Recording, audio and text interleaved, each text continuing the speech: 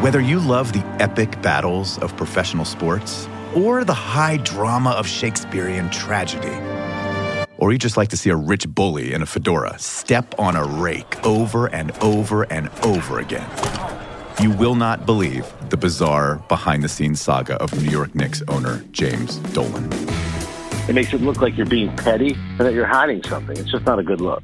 We're all embarrassed, yes. Dolan is a man born to tremendous privilege who just can't seem to get out of his own way. He wouldn't shake my hand.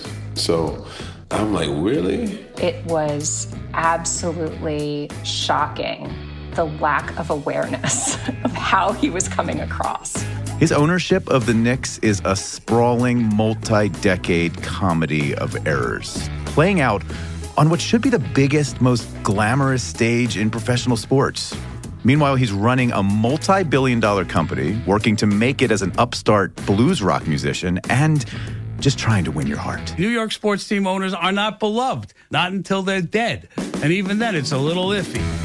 In his quest to outdo his billionaire father, James Dolan will do battle with his own players, or fans, celebrities, politicians, even the Girl Scouts. Members of her troop and some moms took a field trip to the famous venue. But to MSG Entertainment, Conlon isn't just any mom. It's almost too bad to be true. It's almost too petty. But here's the hard truth. The only way Jim Dolan is ever going to truly be loved by Knicks Nation is if he just gives up and sells the team. Sell the Knicks. Sell the Knicks. So, can a five part podcast event finally make that happen? Probably not. But it's worth a shot, right? I'll throw him like a grand for a little part of the Knicks. Be prepared to get booed, you f-